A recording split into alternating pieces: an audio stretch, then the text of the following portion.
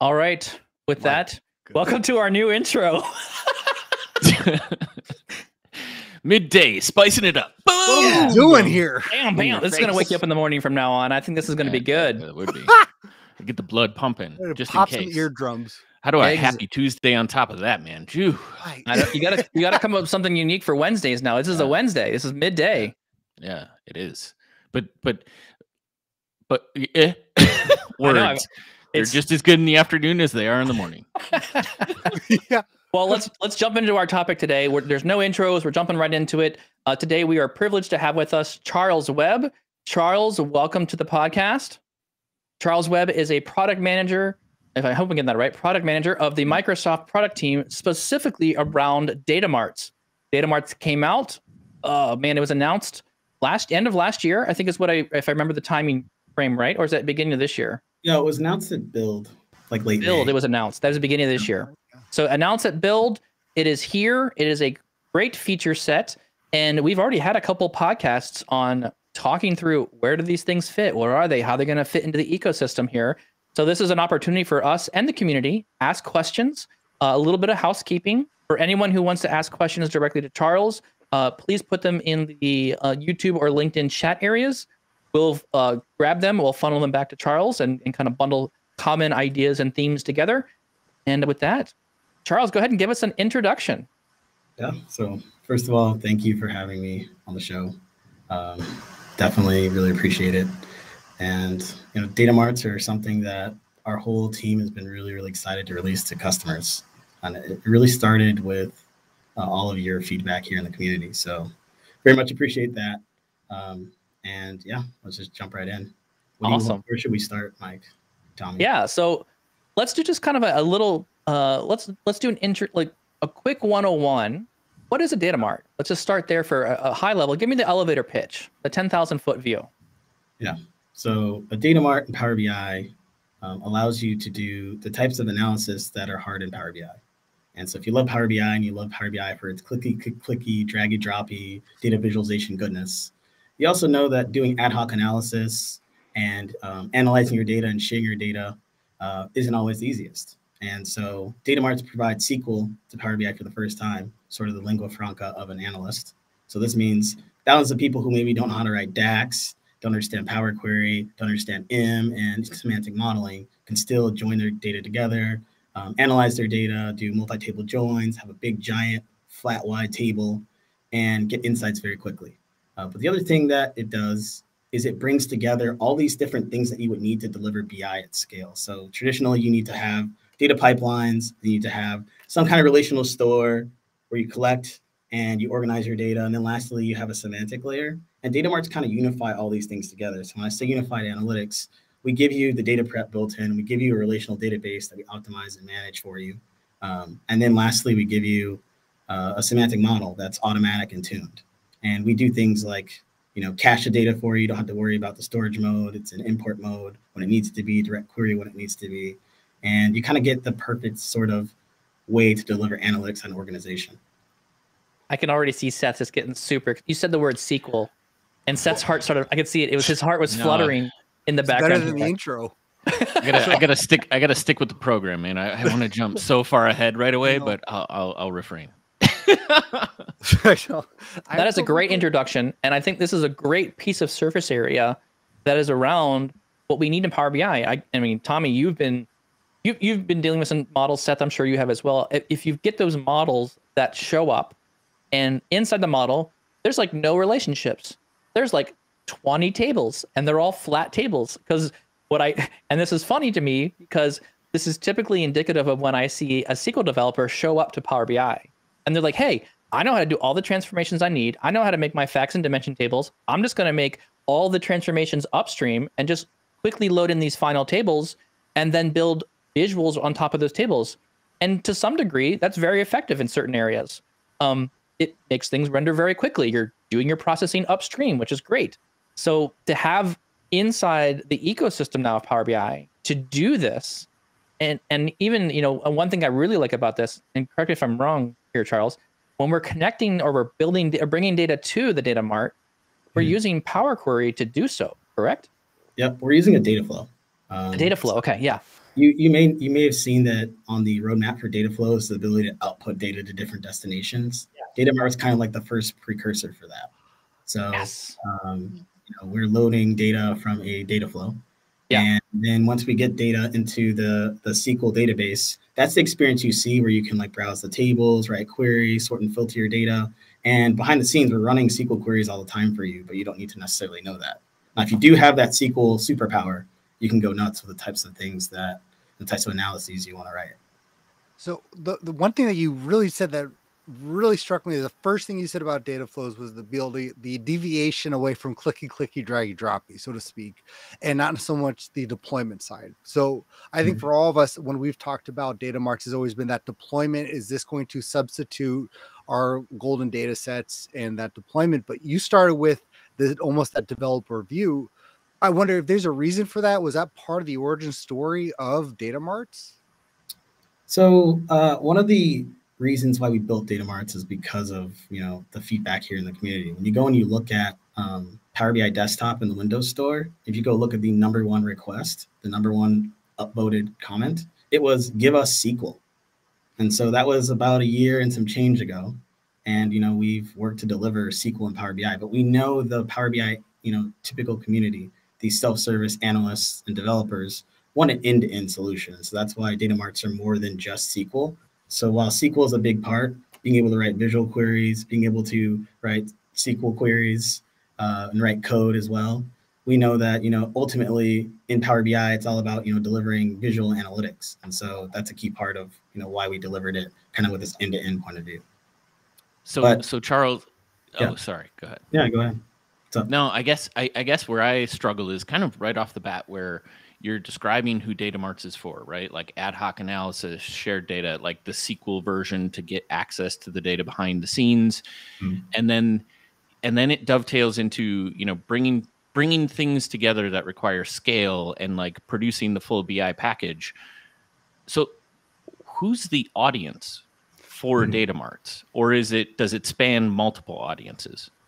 So when you think about all the low code, no code experiences, we're building on the analyst audience who is used to Office, right? So we use Power Query a lot here. we we use a lot of, you know, what you see is what you get interfaces, data grids, being able to sort and filter your data. And you can do everything completely end to end in Power BI as an analyst in a data mart.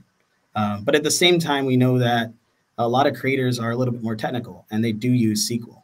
And so these analysts, these business analysts that maybe are more technical can also be very comfortable in those same kind of capabilities. And over time, we know that, you know, there's BI developers and SQL developers, and we're, you know, additionally adding experiences every month to make sure that they feel at home as well. So eventually the, the world we kind of imagine is you, you have this today in, in enterprise, you have, you know, pro developers over here and you have citizen developers over here. And we see these worlds kind of converging where you have these fusion teams and people can bring the skills that they have and collaborate together and still build you know pieces of analytics value very quickly so for sure when you think about where it is in power bi and right now we're targeting it's that analyst that you know maybe doesn't have access to a data warehouse doesn't have access to azure doesn't have access to you know these powerful tools and capabilities but now in one click they can spin up you know etl and a relational database and a semantic model and they don't need to worry about all the ins and outs and an orchestrator to manage all these and having to performance tune it. They can st- instead worry about the hardest part about analytics, which is you know context. Was that part of the need from like obviously you saw the Windows store that said we need SQL, and then yeah. speaking of what you're seeing now, was that kind of the origin story where however you guys were like having lunch going, you know what would be cool? Like, is is that what this is meant to serve? Is that real true role of that combination or that fusion of the citizen developer and the pro code who does not because there's a lot of people who don't have that access in Azure mm-hmm. Data Factory or, or, subscription, but is still required to do a lot of those uh, functionality. So yeah. is, is kind of the need kind of came from? We've, we've always kind of had this pattern in Power BI. So if you think about analysis services, right, this was something that was an awesome piece of technology, but we made it and democratized it for everyone when we brought it to Power BI. Um, when you think about like uh, data flows, ETL was really difficult. We used Power Query and brought that to a ton more of developers. Um, when you think about things like streaming data flows that we did, right? It was it's a similar story where you know you had you know stream analytics but how do you provide that same kind of capability experience so that folks that are you know less technical can still with all the context they have which is super powerful you know lead to some piece of analytics value so data marts are kind of the personification of all those lessons we learned as well as what you all tell us you need. And you know as things evolve you're seeing a huge trend right now about you know unified analytics. So i want one single pane of glass to do all my analytics work and i want to have a single source of the truth and discipline at the core but then flexibility at the edge and you know patterns like data mesh and um, you know federated you know models and you know centers of excellence. We're trying to make sure that you have the right tools as a you know analyst developer and business person to just get your jobs done and analyze your data and make decisions i like this story and i think i the vision that you're portraying here i think resonates very well with me because you know working with newer clients i mean this is how the growth progression I see things working in organizations. You start with a, hey, let's do Power BI. Great. We get comfortable. We download the desktop. It's things on local. Oh, I have a publish button. Let's go okay. Let's publish this. Boom. Now immediately we're we're grabbing data from on-prem. We're doing some modeling, and now we're getting comfortable with cloud. And the success of that experience, how easy it was, how performant it has become. I can get a lot of basic things covered very quickly. That brought and drove a lot of adoption to this next layer of companies are now like, well, what do we do? We have more data. Where do we put it?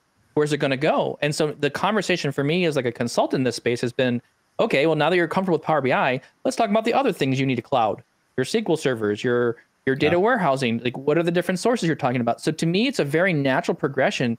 You know, drive adoption into being comfortable with cloud using Power BI and how great the experience has been. And so with that now comes this new conversation and now i'm looking at data marts going this is another great progression towards that end you know let's not talk about a single source let's talk about a, a central place or a location where we can grab and bring all of our our data tables together again mm-hmm. i'm i'm thinking the big architectural picture here because that's i like to architect right we got power query or data flows bringing data in i've got that really rich editing experience we can that is and i'm, I'm still a little sad here and then because you're on the call, there's maybe other Microsoft people listening here. Desktop hasn't gotten a great update in Power Query in a while. So I love the Power I love the Power Query experience online. It's great, but you know, bring me that experience in desktop. I, I get that's maybe not where we're always going, but then once you get the data to something, a table form, now what do you do with it? And then SQL becomes this great interface layer, transforming, merging, blending. It's a very well-known item, and you can throw a stone and hit another SQL developer. They're everywhere. And then now you've got the analysis services on part of uh, as kind of like as a a helper on this, right? You're building some automation around going from those SQL tables directly into a model, a data mart, and boom, we're off to build reports. So this makes a total sense that you're bringing this under the same house, the same ecosystem. Well, and Mike, in, in, in, Microsoft's defense, it is kind of your fault that they're not updating Power BI desktop anymore. So, so our first true. episode, That's our very true. first episode of this it is my fault. podcast, Mike, I don't, it was like basically like, I have a great first podcast. Everything's in the cloud. Forget desktop. Uh, and Microsoft apparently listened. So, well, but, you know, they're, they're taking a different approach, right? So now it's less yeah. around like, you know, data marts lets you build measures inside, inside the, that the data marts element which is what my big complaint was with the whole, you know, why can't we just make Power BI Desktop live in the cloud? You go, you can build reports in the cloud, but I can't make a measure. Well, now I get that feature that comes with data marts now. So now to me, this is another gap closer for me of where I'm getting closer to like I can exclusively use the Power BI ecosystem entirely in a browser to do everything that I need. So more of a kind of an abstract question, right? So if if if data marts serves the purpose right now right out of the gate um, in terms of helping out the analyst and uh, advanced analyst with some sql access to, to source systems and allows us to them to start building the, the different components all within data marts to me there's a lot of parallels in like how power bi was released right? Like it started off as uh, a, a, tool that you could directly plug into the business and you know those of us on the back end were screeching like well it's not enterprise ready like so uh, and then it grew into that right significantly and then beyond i think even my expectations. Um, it's obviously like still um, a, a just released kind of capability but it had like i think the thing that gets me excited is it has the capability to significantly shift how we architect things is this that same sort of kind of grow up story with this capability that will continue to see more of the the features that allow us to enterprise it over time? Or you're saying, or or Charles, is it ready to go? Like I I should start re-architecting how I implement things to use data flows completely. So you know we're in preview right now, and we're in preview because we want to learn from you all. We want to make sure that our product is super robust, super compliant, super mm-hmm. reliable. But this opportunity is crucial for us because this is where our customers get to tell us what's missing. How do you all want to actually architect and you know deliver these types of solutions? And then what do you need to you know make a data mart something that will help you do your job better? And so you know we want to make it super mature, super enterprise ready, and uh, at the same time we just released. So it is a bit of a journey. But what's nice about this is that you know, customers get an opportunity to give us early feedback, try it, do POCs, uh, put it through its paces, and then they also get the opportunity to, you know, receive the value of us being a 100% web service. So we can release very quickly and be very agile to the requests of what people want, and then, um, you know, we can evolve this over time. So we want to make it super robust. It already supports a lot of the things in Power BI that you would expect, things like audit, things like deployment pipelines, um, things like you know multiple contributors. But then there's other things like that we get because it's part of the SQL e- ecosystem, like Query Store, uh, which is a very powerful capability inside of you know Azure SQL that allows you to you know monitor and measure your queries. Um, so there's a ton of things we want to do longer term uh, with data marts to make them you know a great place for you know more enterprise analytics as well. But you know being part of Power BI helps us also focus on the self-service aspect. And in those areas where we're not as mature, I would just say that it's much more of a yet thing because we want to get there. Okay. Are you so, seeing? Yeah, Are you seeing a, a, shift in here? And and I could, you know, Seth, we talked about this in the podcast previously. Seth was looking at like a use case, right? There's there are certain teams in the company that have very con- tight control about what data goes into the ecosystem, and mm-hmm. so I see this as being an example around where you can you can kind of create a workspace around a very specific sensitive data area of your company and kind of limit it to just that space, right? You may not be wanting to put a bunch of other things in the cloud or uh, you know having a shared SQL server, whatever that may be, for for that reason. So it's a very niche potential security requirement around what these things are doing. So, I mean, in saying that, right, in saying that there's potentially workloads here that you know maybe this is like like uh, I'm thinking like financial, right? That's those are the areas where people get most picky about things. There's a finance team; they love Excel. They need some stuff to get brought together. We have some systems we need to get data out of, but it's it's very controlled. We can't just let that data be shown to everyone. So in lieu of that, it, our data marts, maybe the vision here is, or maybe the short term goal here, are we are we looking to lift other workloads off of other teams and mm-hmm. bring it to data marts, or is at least the, the initial play here is find workloads that are not being controlled, thinking Excel, SharePoint lists, other things that are like arbitrary. It still gets the job done for business. Mm-hmm. Are we looking to absorb those workloads into data marts? So maybe maybe it's a question around where does the workload come from? Are we looking to, to mm-hmm. Add workload or are we looking to move workloads from existing places? What are, you, what are your say, thoughts on that one? I would say it's not mutually exclusive. So okay. on the Power Query side, we have, you know, the power of hundreds of connectors where from any online service or database or file format or even open protocols like OL, OLEDB, et cetera, uh, ODBC, I'm sorry, you can connect to your data, right? Mm-hmm. To then use cases where I have a SharePoint list, but it, it falls down here or there to you know more enterprise use cases where I have a line of business application. Maybe it's not in my you know cloud data warehouse. It's not something that makes sense, or I need it to be uh, isolated from a workload perspective. And you can totally say, hey, look, this organization, this business unit, this department can think about uh, their data as a product, and they can just build their sort of smaller universe of data that fits their mm-hmm. needs. And then yeah. when they become, you know, or get to a point where they need to share it, they have that capability to share it out, add folks inside of the workspace to collaborate as well. Um, but things can grow organically that way that can serve, like you said, specific compliance or geography requirements, as well yeah. as just the need for speed. Um, when you need that workload isolation and that flexibility at the edge, you know, you can create a data mart as simple as, you know, go to the workspace, click on new, say data mart. And Mike, I, I like that. I like that question because I'm thinking of this very much on where, what does this replace in the supply chain, so to speak, of products and where do I use it? You're kind of saying, no, no, this is not part of the supply chain. We're actually going to move this department wise, like someone yeah. who may not be introduced to Power BI or the platform. Well, uh, I look at it like from my perspective, like when I was learning SQL, I wasn't just showing up and be like, I know, I didn't go take a class right. on it. I was like, give me access databases, right? I'm building my own little mini thing on my own that's kind of experimental and figuring things out and how it works. And so I was finding value from that and I was building applications on top of that.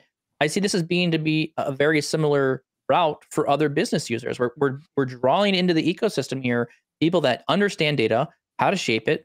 You know, they're in in some way, you already understand what facts and dimensions are. You may not have the technical training around that, but you you get it. You know what needs to be visualized on the report or pages to get business done. And so I see this as being another really interesting, you know, I you know, basically uh uh you know, if I think about uh access, Microsoft really isn't doing a lot of touting around keep let's make more access databases. There's there's no cloud version of that that of that standpoint. But to me, this this feels a lot more robust and and again more geared towards that business user, moving more towards that IT shop side of things.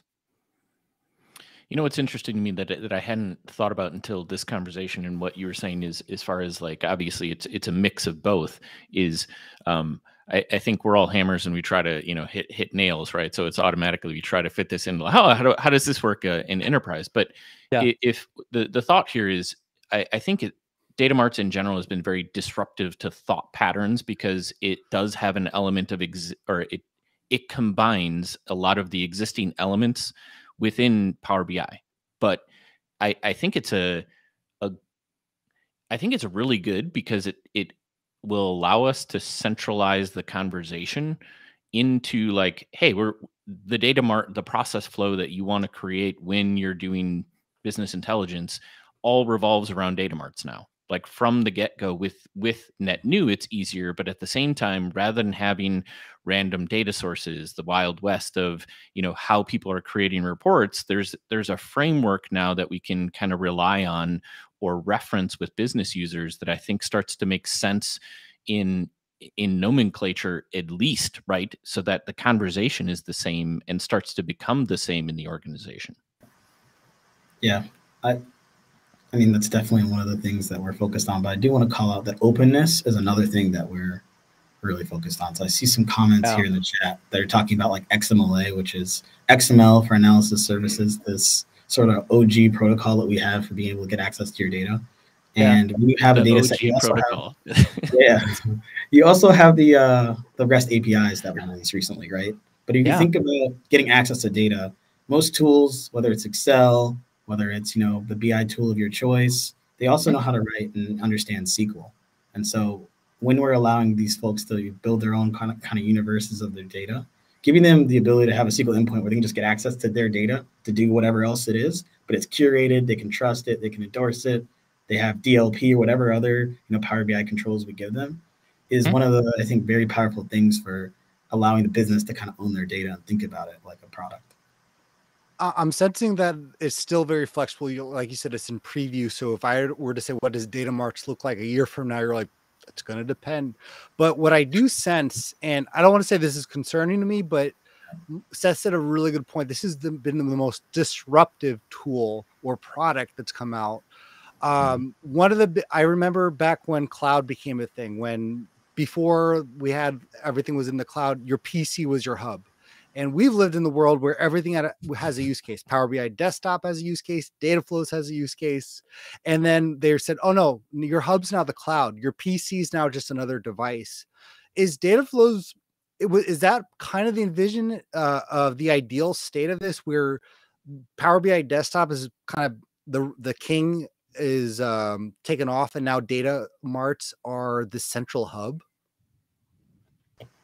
Um, you know, I don't think that's the case. Uh, when you look at things like Office, Office has, for example, let's take Excel. Excel Online is an amazing product, uh, but there's still Excel on the desktop, and that makes a ton of sense. When you think about developers developing, some use VMs, but some also like you know their client applications that they you know right. uh, publish to the server. So I don't think that's going away.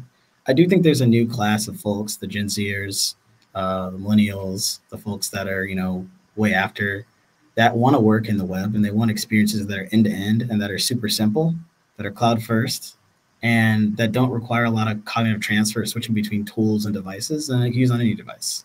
And I think this is why you've seen us shift really hard to the web. But I would say that you know every software application is going to a SaaS model where you know a lot of those details, those implementation details, are obfuscated for the user because folks don't like worrying about some of those uh, more difficult, hairy details of how to get these things to work and stitch together end to end. So, so I will say that you'll see that continuing simplification of how you get from point A to point B, with point B being like thinking about data as a product and getting some insights as fast as possible. Our job is to shorten that distance. Yep. So you're yep. going to see Data continue to shorten that. Uh, yeah. Today, you may not be able to do a lot of the things that you might uh, want to do from an analytics perspective in data marts, but again, we like to think about it from a yet perspective. So you're telling me by Christmas I'll have a Data Marts iPhone app? That I can build one on, or no? Uh, that, that's I think I heard. It's, it's, funny, it's funny. funny you say that because he's like because we're releasing today. Yeah, I know we're releasing today. We have a you know an iPhone app. Take a picture of a table, automatically loaded data marts. Yeah, it's, it's, it's hilarious because when we were doing testing, you know, we test on a multiple a multitude of devices, and we had one of our developers, one of our engineering managers, actually test yeah. on an iPhone and say, I mean, it was very painful, but it did work on a yeah, smaller screen. Yeah. And so, uh, you know, when we think about making this available to as many people as possible everywhere, you know, mobile could definitely be a really interesting story for us. I mean, I, I, there is another challenge here too that I see. Like right now, if you're doing desktop, you're locked into a Windows machine, and there are clients that not are always Windows machine based, and there are departments that are some some companies split the devices that you bring into the organization. Some of the IT mm-hmm. shop is using you know PCs and Windows computers and then the mm-hmm. marketing team or other parts of the company are using actual you know different computers macs or whatever whatever other machines they are. And so to me this is like an unlock key to some of that other uh, availability across different platforms. And so now it, becomes less of a um, i need to have the right computer. It becomes more about let's and I, am going to go back to your, your point here charlie. You made it you said it twice now and it's really resonating with me is your data is the product. The data of what you're producing that is what we're talking about here. And so um, we talked about this in the podcast a number of times. but I've gone down when at one of my old companies. I was working there. I'd walk down the aisle, and I just we had the the picnic benches of, of people working together inside the office. So it was basically we called it a picnic bench because everyone worked right side by side each other, and there was these long aisles of people working. And as I walked down the, the aisle, there's just Excel after Excel after Excel open on people's computers, and I thought, oh my gosh, everyone people are acting like the data movers of, mm-hmm. of information. They data is their product, and it resonates very well. Yeah. Oh, I like this. This is really good. Yeah, it's. I think it's more interesting now when you think about this challenging economic climate. You've got folks that are trying to figure out what's going on and how do I sort of maintain and sustain. And then you have you know organizations that are saying how do I take advantage of this and find the competitive advantage. And in either case, you're looking at the data, but then you've got like the fast movers, the slower movers, those that are kind of observing, but data is still at the core of all those decisions. And so like whatever we can do on the data mart side to make that easier is is king for us. And that's what we're like super focused on. It's an interesting question coming in here from LinkedIn. I, I think this is probably an appropriate time to, to point this out. And, and Charles, you were saying, you know, searchability, discoverability of these mm-hmm. data sets. You know, being yep. we talked earlier about, you know, making a specific lockdown area but now mm-hmm. we're also talking about well, how do we share this? What's how do we make this discoverable to more parts of the organization? And the, and the question from LinkedIn kind of comes in as you know, yep. if you listen to like the Harvard Business Review and what they're what they're kind of touting, they're talking a lot about companies continue and will continue to have data silos. Exactly. How, how does this work? I mean, again, now that we have, I'm I'm I'm thinking here, and again, I'm not trying to pick out your roadmap here, but I'm looking at this going, you know, there is a data hub already that's available to us in PowerBI.com, and I'm thinking like, you know, right now I can go discover different data sets. I can see things across the organization, things that have been shared with me that I'm allowed to see. Yep. How do you see data marts fitting more of that organizational distribution of we've got teams who are working on data and we're, breaking down these data silos. How do you see this working inside data marts now? Yeah, so the HBR article is, I think, exactly right. There's always data silos within organization because context is king. And yeah. if you're in supply chain, you're talking about a particular problem, even if let's just say it's procurement, that may be a different type of problem that than the you know finance or sales teams are talking about. So the domain might be the same, but yeah. their contextualized view of the world is quite different and has different security requirements and everything else. So with that being like the known understood context, I think data marts help you because they, like you said, they're part of the data hub. So this means that we've already cataloged these data marts and we allow them to be searchable and discoverable. But then we also help you secure and govern those things. So give you controls to, you know, uh, be able to leverage these data marts, audit all the activities, secure them, and you know share the data. But then you can appropriately add, add additional business semantics to tell people what it is. You can endorse it. You can classify it and say this is confidential data. And these are yeah. the types of things when you think about like how do we reduce silos.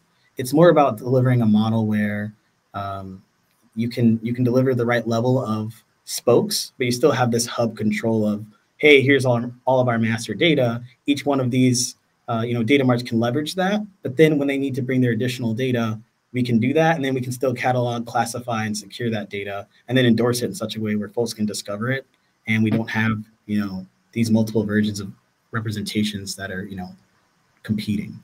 So data marts are expressly, I think, meant to lean into that pattern, but do it in a way where it's a win-win. Love it. This is good stuff. So, all right. Oh, go ahead, Tommy. Yeah, yeah. Uh, uh, it's very interesting the way this is going because I was very much going into this conversation and data marts with it's what is this going to replace in the Power BI world, but is almost rather than it's going to do something better than data flows or this better than mm-hmm. desktop, it's almost yours. What I'm hearing is it's kind of removing the shackles from PowerBI.com, where we're going to have this data set, and this kind of goes what you're saying, where data flows are going to be pushed to other systems.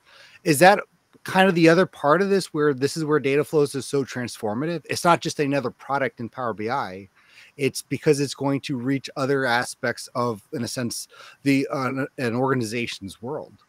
Mm-hmm. Yeah, if you think about it from the perspective of like data sets or semantic models, they're your metrics layer that people are talking about today. And then you think about, you know, data marts being this way to get unified analytics and SQL. Then you can think about data flows as an amazing way to do ETL. And from that perspective, right, like the data mart is just another destination. The Azure Data Lake storage capability is just another destination, right? A uh, data set could be another destination. There will be other things if you look at the public roadmap for what data flows are going to deliver in the future for other destinations. But I think it's all about how do we make Power BI as a ecosystem more helpful to our customers for building data assets, whether that's you know ETL pipelines, whether that's you know analytic solutions for a department, a business unit, or a whole organization or whether it's you know a semantic model and a metrics layer so that folks can describe what revenue is or you know what, what cogs are what margin contribution is consistently and holistically like yeah. the whole idea is do more with data. Power bi will help you. I, I like where you're going with that one because that's a challenge right now right now. Even even in the power bi ecosystem um, what is cost of goods? Defining what that term is having a common library of definition and dictionary uh, items around what that means that's i mean tommy you've worked on that a ton in, in your space just trying to define the data catalog. Where do these measures come from? How do you build these measures? If you're building measures on top of these columns what what should it be what should be calculated when we mean these different terms and outside just the desktop or outside just the report yes. too which I, I like this where does yeah. where does the where does the admin features of data marts come into it. So I mean, again, I'm thinking from this from two parts of the lens, right? I'm talking about like the business user who's coming in and saying, "I love this thing. This is great." what kind of admin controls are we having either now or what we're looking for in the future too? Because I'm so I'm thinking across this. There's to me there's this gaping hole inside the who uses what, and for me there's a huge challenge right now. The lineage piece of going from like a model down to the report elements. There's a massive gap between that I see right now of how do I know if I'm going to clean up a measure, I'm going to take away a column, how do I know downstream I'm not going to kill a bunch of reports? And if I am, how do I identify what those reports and things are going to look like? How does is is Datamart's thinking about this as like the you know there's oh well so many Don't thoughts. There's lineage tag legs. There's there's lineage taglines already in the BIM file already. Like where does that fit? I feel like this would be a great opportunity to start adding more of those elements and giving better traceability all the way down to the report level, even visual level of where this stuff is being leveraged in. Yeah. So that's a great question. I think it's like there's multiple layers to this question, so I'll try to Yeah. answer the best Yeah, I can. answer what you can. you're seeing you're seeing some level of this, and we used to have the data set hub, and we, we renamed it to the data hub. Yeah. And at the same time, you've seen that when we came out with Lineage, uh, we said we're going to integrate with Microsoft Purview. And at the same time, you know that we've been investing in things like data loss prevention, and we now integrate with all the Office MIP labels. Now, when you go to the data hub today and you go to like a data set, you'll notice that we're starting to expose more metadata of what's within that data set. So we now tell you what the table names are and other information. And we allow you to see and start to explore that. Uh, So you can kind of imagine where we're going with all this because this is a common problem even you know in our own business. So uh, being able to reduce those silos, integrate with Purview, make sure that folks kind of get that full traceability is something that we're actively investing in. And you can just Cool. bet that data marts will be a part of that. They already they already are like they're already part of the data hub. They already integrate with the DLP, the sensitivity labels. They already Yeah. integrate with endorsement, right? So if you want to certify and promote these things, you can. But there's more things we want to do. And like I said, just watch that data hub space because all the artifacts that are inside of Power BI, all those items, you're going to see continuing to have a compelling story over there. But then there's Purview that sits on top of all of this and Yes. all the other documents that you're creating and enriching. And uh, we want to have a great story there too. So I think that's part of your question, which is like, yeah. hey, how do we look at it from the admin perspective over there? But then more generally, we have heard feedback from customers that they wanted more controls over who have who can create data marts, um, having the ability to enable them for select users, looking at capacity controls. Uh, there's an idea, and yesterday we published a new blog. We talked about how we're looking at that idea. That idea. So we're talking with a number of customers trying to figure out what's the right way to deliver that right level of control and management and um, monitoring capabilities, but at the same time ensuring that folks get that flexibility at the edge that is kind of the ethos of self-service. I've got a, I got a riveting question now. Is it data marts with a capital D or data marts with a lowercase d? What, what is the right way? We, how do we write this thing? Is it I Is think it a single when- word? Is it two words? One These word. things matter. one word, uh, One word. and it is generally capitalized at the start of a sentence and then lowercase everywhere else. Okay. Um, so nice? it's the way we talk about it. It's data mart and Power BI. So Yeah. the data mart is the thing, but you know, obviously English has different ways to describe data marts when you're talking. So about it. So- I, I do think it's wise that you're picking data mart as the name of this. I mean, like you could Microsoft could have picked any number of names in this domain, um, and the fact that this is a feature called data marts, I think aptly describes what it does. But when you think about what a data mart is trying to do, I'm trying to think of I'm trying to rectify where this sits in like the enterprise data reporting, so you know the EDW. Where does that sit? I mean, that, that can have a lot of data and not be star schema. And then we can start talking about data marts or e-data sets. And then as we get closer to like the subject matter area, I'm finding incredible amounts of value with more and more aligning to a star schema. The, f- the farther I go down towards that report side of things, the, the schema, the meta schema, uh, the schema detail of, of what you're building there inherently lends itself to facts and dimensions. Uh, that's what I want to start conforming to. So I, I really like this, this data marts because when you look at the classic architecture of where people build things, you can have the central EDW and you have all these data marts hanging off of that that do a, a lens or a little view of what's coming out of the massive pool of data that, is the data mart. I think this aligns very well. I, I think the vision here and the naming of it, for once, Microsoft did a good job naming this one. so I hope you had some influence there to, to, to aptly name it data marts. And we have we have an awesome naming team. So it's just a big it's a big fishbowl, and there's just a lot. You know, everyone put in a name, and we can pull it out. we, I would say our marketing team is world class. They've done a really good job with helping yes. us deliver data marts, and we've learned a lot. Right, like every single release that we do in Power BI, I think our whole organization takes pride in learning. So every time we release something really special to customers, they've given us the feedback of what we could do better, and we try to just improve on that the next time. So um, you know, data marts the culmination of learning from things like you know our premium Gen two, premium per user, how we launch data flows, how we launch Power BI as a whole, and you know, very thankful for all the comments, all the feedback, because we're continuing to learn, and this is kind of a journey. So uh, yeah, it's gonna be fun. It's gonna be a fun ride. So, uh, um, I think, like I said, this conversation is really expanding. I think what data marts could be, but for the developer, and let's say a year from now, this ideal state mm-hmm. of not so much the product, but if I'm a developer now, should this be part like ingrained with my vocabulary, just like DAX, Power Query is, or d- is that like a, a necessity if you say I'm a Power BI developer? Or is this really kind of like you like you said it's it's not so much on the hierarchy it's almost like on the on another on another lane? Uh, that's a very much a depends question but i would say um, we're not we're not delivering data marts to um, you know better or best any other thing inside of power bi if you're already using data sets we feel like there's a complementary story with data marts you can do more with your data when you leverage a data mart and a data set in conjunction. That's why we auto-generate a data set because we're all in on the metrics layer, the semantic layer, having business semantics, be able to define measures. Same time, data flows are awesome. There's a great story with you know being able to have the control for ETL for other things. Any data mart is just another source. Makes total sense over there. And then it just comes down to what is your use case where a data mart makes a ton of sense. Mm-hmm. And if you have those ad hoc analysis needs and you're already seeing we'll call it spreadmart proliferation in, inside of your organization. And you're seeing a slowdown in the speed with which you know your teams can build analytic solutions. Data marts seem like a really good fit but you don't have to take my word for it. It's free during the preview. You can go try it. It's completely self-service but you still have the right controls to like monitor and manage the thing. So you can kind of learn as you go too to figure out how does it fit.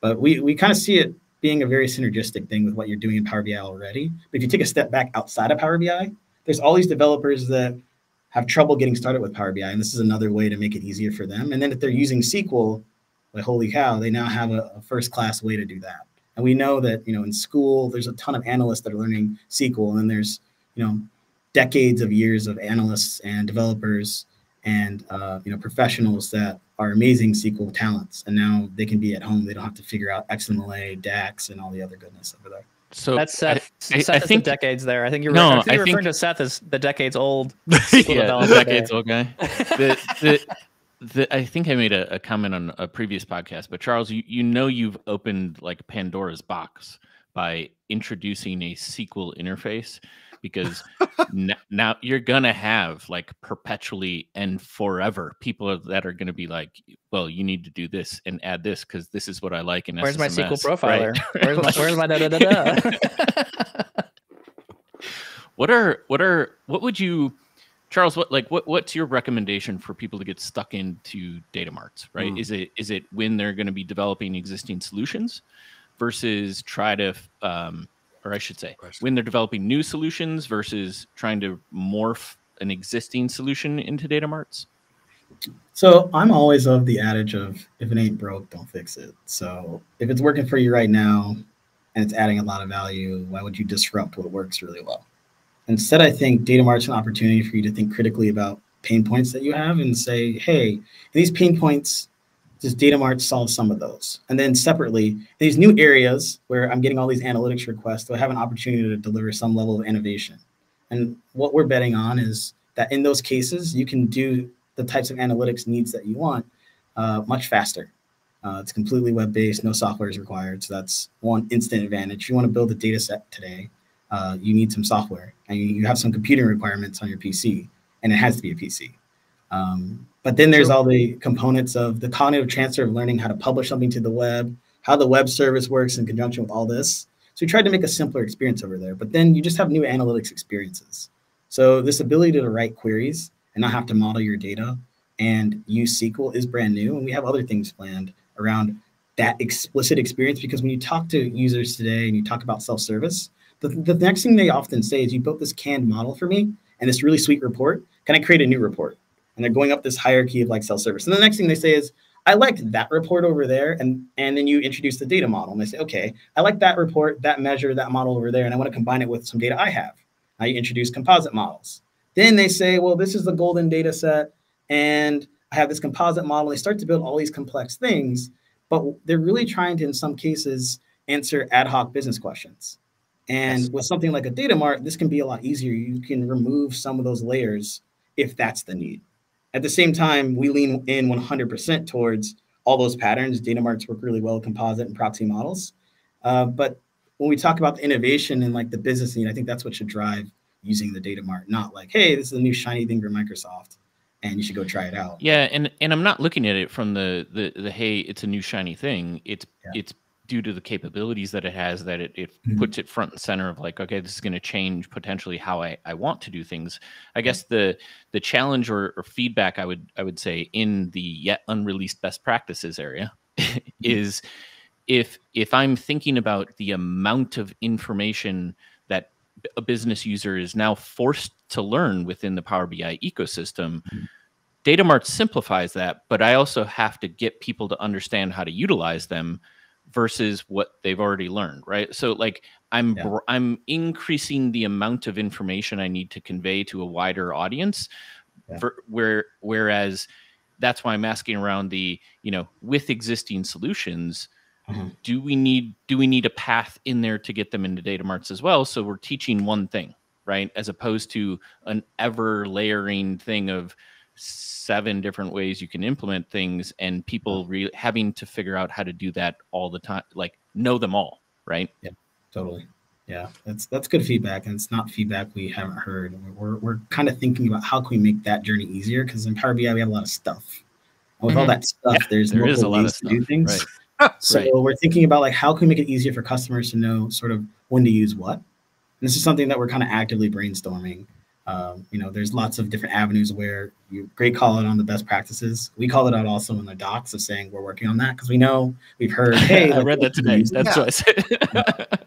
but but separately, you're right. It, it can be challenging um, for folks to kind of know when to use what. And our, our general goal is when you think about Office, you have Excel, you have Word, you have PowerPoint. We want to make it that easy of a selection process. Um, now, at the same time, in a Office document you can, you know, have a tie into another document. You can embed in one, things like this. So we're thinking about those type of experiences to make things easier as well.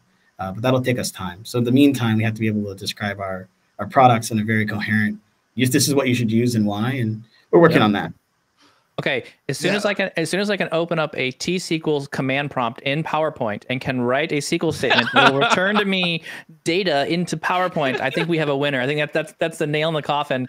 The competition can't hold up when, when I'm writing. So you're saying in PowerPoint, creating my Excel tables in Words not best practice. Then okay, so I, I see where we're going. Well, so this is like I said, I, the the expansion here. If give me a number of if you had there's a hundred dollars of development time to spend on data marts, and it's you can divide it up e- either between the actual inter like the use of the tool of building a data mart or the output of where it's going to be located where do you think that investment is right now because it's seeming more and more over this conversation there's more of a budget or more resources being spent on where data marts can be in a sense accessed rather than the actual building the data mart itself um that's a good question. So I would say right now it's pretty even. Okay. So in the last update, you saw we made a bunch of improvements to like the ETL, just getting data yeah. into the data mart. Yeah. Um, but then we also made some experience to consumption as well. And then separately, connectivity is something that we're, we're working to improve. We've heard a number of customers say, "Hey, I want to connect a, you know, a Jupyter notebook and write Python against this thing, get data out, and uh, you know, design a predictive algorithm." and you know maybe deploy that somewhere else and use the data mart as a source because this has all the business context analytics is all about context this model is going to be great awesome so we're kind of investing i would say across the board and if you think about it we have to do that because yeah. you have the creators that are you know building these things but then there's the consumers that need the right experiences inside of it, but you can't sort of balance in one way or the other. Otherwise, you know, if you don't balance on the creator side enough, people won't be able to create these things fast enough to serve the consumers. And if there aren't the right level of consumer features, then you're creating this thing that's kind of just an orphan out there uh, mm-hmm. in terms of all your other, you know, analytics artifacts. So we have to do a good job of balancing. And I'd say we're doing a pretty decent job, but there's a lot of ideas out there. And so the, the nice thing is that we're in a time in our, you know, internal planning cycle where we're going through semester planning. So we kind of deliver things in, you know, these semesters so all the ideas that people are voting on, we literally look at, and then we take a cut of those and we go build. So we're kind of looking at those top ideas to drive us to the promised land. And I would say even there, it's evenly distributed. So you'll see like DML and DDL are one of the biggest requests for customers. And DML are things like really? procedures, right? And table value functions. Uh, but then, um, you know, creating tables is also one of those, right? So you can go to from quickly from creation to consumption just on that one, and same with DDL. Uh, so this is definitely how we want to invest in the future is make sure that we're evenly distributed across all those things. Uh, if you feel like, why do you say that you think we're? Do you think we're kind of balanced one way or the other? So it's it, funny you say that. Uh, to me, like I said, it all goes back to the like, what does this do better than the products already out there, or has mm-hmm. no reason to exist in my head? Like if yeah. it's worse than creating a data flow in, in Query Editor, and it's worse than building a model than desktop, to me, it, it has no reason to exist or to go into implementing a solution. Um, but the fact that we're talking about not just this as something that exists in the Power BI pipeline, but in the organization's pipeline. Like again, you're talking about the mm-hmm. expansion to other places. That to me is the the in a sense that star or where really is unique, where really can play a pivotal role and what I can and see in different solutions. So well, and I, I got to give you uh, tons of credit here, right? There's yeah. been uh, some good feedback in the community around, you know, being able to create create and save multiple queries. So using the SQL statements, saving those yeah. SQL statements inside the library that is the data mart. Yeah. We've yeah. talked a lot about on the podcast, like, hey, are we building data? Or are we building reports? And I, I, I can't remember the number of times I've seen this where people come in and ask for, hey, I need a, I need this report. Okay, let's talk about the report. It's this table, has all these columns. Okay, to me, that's a different kind of request. That's a request. I need access to data versus I need insights of the data. And so this to me, what you just described, and, and I had this epiphany when you were talking there, Charles, around how this changes the game there to some degree because now I get capabilities that are very SQL esque in nature. I can meet more of the demand around writing my own custom SQL queries or endpoints that are going to let me attach directly to those things. I have to imagine there's going to be some kind of like snazzy thing that kind of comes out with where where Excel is going to be able to connect into data marts. Hopefully in the future, where you're able to get stuff out of there as well and look at tables and get and get custom data out. Yeah, I mean there's right. there's an endpoint for it, so I think that makes sense. So I really like this idea of like, well, what are we? What is the real use case of what we're doing? Are right. we building you an insight, or are we giving you access? Right. And this is another neat surface area point that I see here. That uh, I really like how this is this is forming. So I'm really excited to see the development there. Yeah, and how many times have we said on the podcast? I, multiple times. Our job is not just to build a report. If that's all we're doing, we're failing at our job. Our job is to d- help people measure what matters. Yeah, and to try to answer their questions. So. Yes yeah. And I, I think that yeah, Mike, you kind of said it perfectly.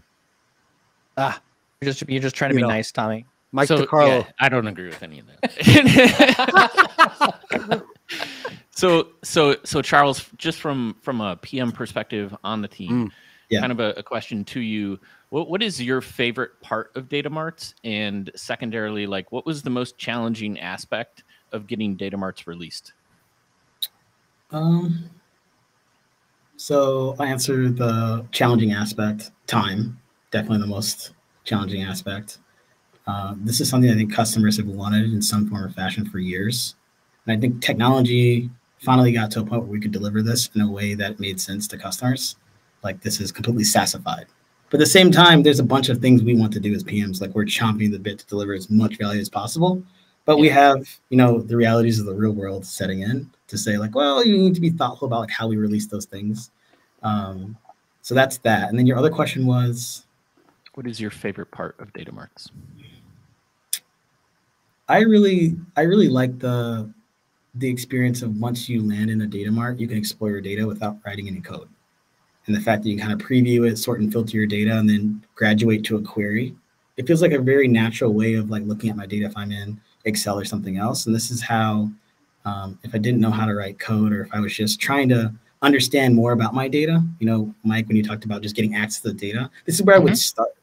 And then yeah. the next place I would probably start is I'm going to write a query and just kind of explore the data. Maybe it's a VLOOKUP or something else. Now I can kind of do it visually or through SQL.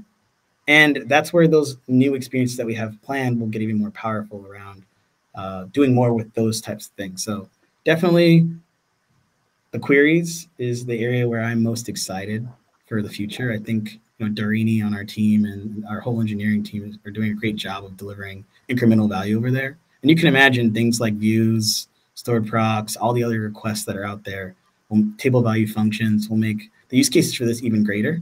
So, you know, Power Apps, Power Automate, data driven alerts, like there's a lot of potential things that we can do. And this is why I say, please keep voting on ideas. Let us know what's most important so we can kind of prioritize these. If there was a good time of year for folks to vote, it would literally be now because this is right before we go into semester planning. So, like, nice. Very, very, very much appreciated all the votes. Awesome. And for those of you who are looking for, are you guys just to make sure I'm clear on this one? This is still ideas.powerbi.com. Yep. For where we're putting submitting ideas, so it's still part of the ecosystem. There's not a datamarts.powerbi yep. or ideas.datamarts. It's all ideas.powerbi.com. And I believe there's a flag now. If you're creating ideas, you can flag things. Is it flagging? Can you flag things for data marts? How would how do we how do we make issues or uh, add ideas around so you can catch it quickly? Asterix. So what I what we do is we just go and look at the site, we comb it, and then we yeah. look for anything that's got the keyword of data mart in there. So if you want All us right. to find your idea, just add the keyword data mart in there somehow. Perfect. Data marts, data mart. One word. Big um, D or little D doesn't matter. You can, it'll, it'll find both. Doesn't matter. Lowercase um, everything and just search it. that's the big thing for us is if you throw data mart in there, we're going to look at the idea and we've we try to go and respond to all the hot ones. Yeah. Um, so this is something that's really important for us, and the I think the opportunities are endless. So this is where everything that you all tell us is, you know, really, really important. I really hope that you're funneling. Oh, sorry. It does. Yes. Yeah. I, I, I love it too. Right. Because, uh, I, I 100% agree with that natural progression. We were actually just talking about this in in terms of uh, us kind of seeing that in Power Query as well. Like you have an interface that leads people to you know finally get into Advanced Editor and M, right? And and feedback from maybe a different PM would be it'd be great to have that in DAX as well, right? Like kind of the the the lead into the more challenging things. But mm-hmm. I agree. Mm-hmm. I think it's a fantastic experience to to lead business users into something that um, like SQL that is a, a, a language many people know and that they'd be able to pick up pretty easily as well. So Love obviously, it. yeah. Uh, my, my last question is obviously it seems very flexible where it's going to go. But if you and the Data Mart team a year from now, August thirty first, twenty twenty three, are high fiving because of the success of Data Marts, what do you think they're going to be those components? Is going to be the volume of use? Is going to be the actual things built in? What, where you're at now? What does success look like in a year? The thing that we are really focused on is usage satisfaction. So when customers are using the product, what do they tell us is good about it, what is bad, and how would they overall rate the product. So we look at things like NPS, we look at things uh, that are all about our customer satisfaction. And if that's high, I think we'll feel pretty good. Yeah. Uh, customers have been pretty vocal about like what's frankly either missing or are things we could do better, which is awesome. That's the feedback we need to hear and we want to hear. But you know, in a year from now, we want to make sure that that product is meeting their expectations and they tell their friends about it. This is the most important like moniker of like, did we do our jobs? Like like adding a save button maybe they have it they they just they did? did? it's there you can that? save your you can save your SQL queries now there, man no no no, no, save the data mart or yes, the data mart it's saving the data mart is auto saving but the the the key thing that we could do to make that experience better is to let you know when it's saving so that's that is uh, feedback yeah. that will help yes. yes. I will be putting my idea in right if, after this. If we could add a little, you know, three and a half inch floppy hard drive icon somewhere on the page yeah. that lets me. This is funny to me because my son is young. He's never even seen one of these three and a half inch floppy drift yeah. discs things, and yet still in applications today, I still see the save icon as be that little that little disc, the little diskette. When you, when you, when you ask the younger generation, they tell you that's the save button. Yeah, they And don't even no know it's, other- a, it's an. There's no other context of why that would be a floppy disk or anything else. Yes. So, It would be an Amazing. if they changed it though. Oh man, we're, we're we're we're we're fastly approaching this era, and and you know, low code, no code solutions are here to stay. It's it's it's the way of the future, and I I look at I love looking at this these feature sets and things that are that we're building now, and looking at how my my kids, my generation behind me will will be consuming these kind of products and tools. Man, it is so cool. Yeah. Programming the way it is seen today will not be the same way it is seen five, Yeah. maybe even 10 years down the road. It's going to be very different. And so I really like where this is going. So, um, well, I, I kind of want to wrap here a bit. This has been an amazing conversation. It's gone very quick for me. Uh, It's been, we're already at an hour already. Uh, everyone, thank you very much, Charles. Uh, we really appreciate your time. Uh, we know you're a busy guy. You said time was your issue, and we have carved out an hour of your time to hang out with us. So thank you so much for doing that with us. Um, we really Yeah. appreciate it. And maybe maybe we should do some more of these. Well, Thank maybe do some more focused areas. I love it. Well, with that, Totally. we've burned through a perfectly good hour. Data Marts team. Yeah, we, yeah, we appreciate it. Thank you all your hard work, and we're looking forward to more of these things. We should uh, we should do more uh, specific use cases and you know releases. We'll we'll jump in here and do more talking about this stuff. Everyone, thank you so much. We'll see you next time.